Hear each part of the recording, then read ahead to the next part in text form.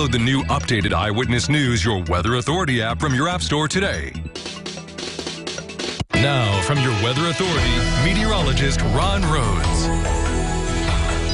It is 1218 as we roll into this Friday afternoon, and it's going to be a stormy afternoon, it looks like. Already starting to see these thunderstorms pop, and as far as the timing goes, I'm going to show you two different models to give you an idea of how much trouble it is uh, to really diagnose this storm system that's moving in. It's fairly complicated, and these models are bouncing all over the place. So, so I'm going to say, suffice it to say, uh, anytime this afternoon and this evening, I'm talking about all the way up to around midnight, we've got the chance for some thunderstorms out there, unless we see anything differently between now and then. You can see a lot of clouds out there on the Evansville riverfront, a little slice of sunshine there too on the mighty Ohio as we look at our Thule Law sky camera. And of course, that's from our Fifth Third Bank perch and looking down upon the Ohio. 84 degrees. Now, of course, the past couple of days, that humidity's been nice and low. It wasn't that bad this morning around daybreak. We see that dew point really shoot up there. Now it's in the mid 70s, so it's some juicy air. South southwest wind kicking pretty good. So apart from thunderstorms, we're still going to have a pretty good wind, pretty much in that 10 to 20 mile per hour range, and from the south and from the southwest. Our temperatures again mainly mid 80s, but it's 88 degrees showing up in Tell City uh, 89 in Harrisburg, 85 Calhoun, 86 in Owensboro. Of course, we have some rain cooling showers out there too.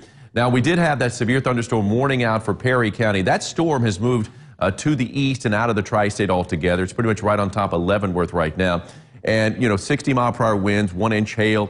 Uh, we're going to see a lot of these warnings, it looks like, firing up. That was a severe thunderstorm warning. Wouldn't be surprised if we saw a few tornado warnings later on today. But the main threat we've got, really the highest, or should I say the greatest threat, is going to be uh, large hail. And we're talking about two inch plus hail in diameter. So it's a pretty impressive hail. Now it looks like a little thunderstorm firing up just outside of Perry County in eastern Spencer County, just east of Santa Claus, and that's working its way almost due east. That's going to stay, looks like north of Tell City, but not by a whole lot. You're probably going to hear a few rumbles of thunder. Let's take a little tour, get a closer look at these thunderstorms. You can see that storm has already moved out of Perry County. Was in the northeast corner when they issued that warning.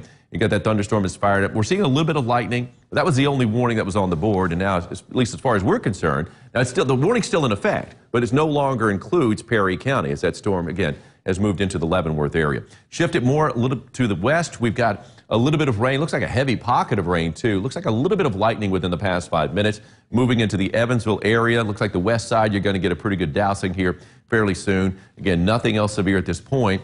And look at the rain that was in Hopkins County. Pretty impressive, pretty wide swath as far as just, you know, the heavier rain. And now it's kind of fizzling out as it works its way into Muhlenberg County. And as we take a look at the bigger picture across the region, they've already had some severe weather too up to the north, just to the east of Indianapolis. So we've seen a lot of things firing up, or I should say southeast of Indianapolis. They had that thunderstorm fire up, and that was a warned storm too.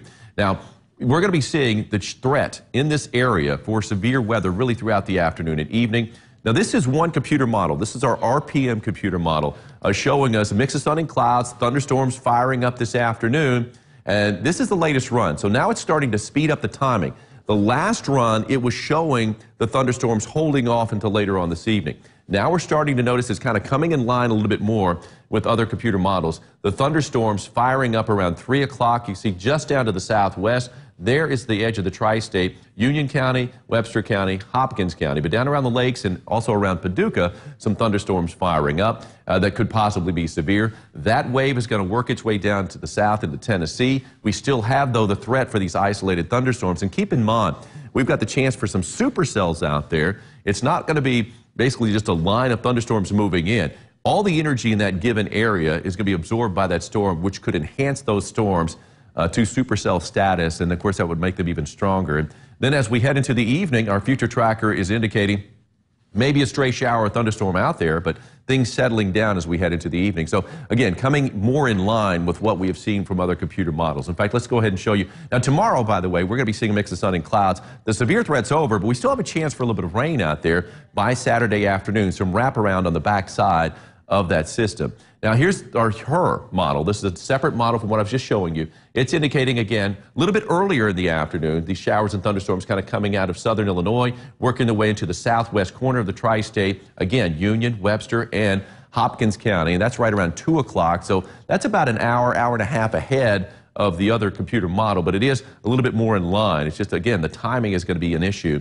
And as those thunderstorms continue to fire up over the course of the afternoon, uh, we're going to see, as we head into evening, a lot of that shifting more to the east and more to the south of the tri state as we go through the day. But even, you know, latest 10 o'clock just east of the tri state, look at those thunderstorms firing up in Breck County, even Perry County, there's a chance. So here we go. I mean, it, it, really is one of those things that could go on for a long time. Moderate risk for severe weather again, eastern, southeastern half, I guess, of the tri state. Enhanced, slight, kind of tapers off as you work your way into Illinois. So it looks like the greater risk is to the east. That's where they bumped up the tornado threat to 10% chance as opposed to where it was in a 5% range earlier today. So seeing a little bit more of a tornado threat. Uh, damaging wind threat 30%. And look at those hatch lines, which indicates better than two inch diameter hail possible, really all across the tri state but the greatest chance is in that moderate risk zone where there's a 45% chance of that happening. So it looks like it's going to be kind of a rough day, afternoon and evening. Mix of sun and clouds, some thunderstorms, and I'm expecting some to be severe, breezy and humid. High temperature right around 80 degrees. So the heat is back on, the humidity's back on. Although we are going to see a bit of a break from both as we head into the weekend. We do have a cool front moving in. South southwest wind around 10 to 20. And after the severe threat today, even though we got a chance of rain Saturday and Sunday, Alexandra, it's going to be cooler little less humid out there, and nothing severe is expected. Uh, 85 for a high tomorrow and 82 degrees for a high on Sunday. And then next week we stay in the 80s too. So after today, it looks a little bit better.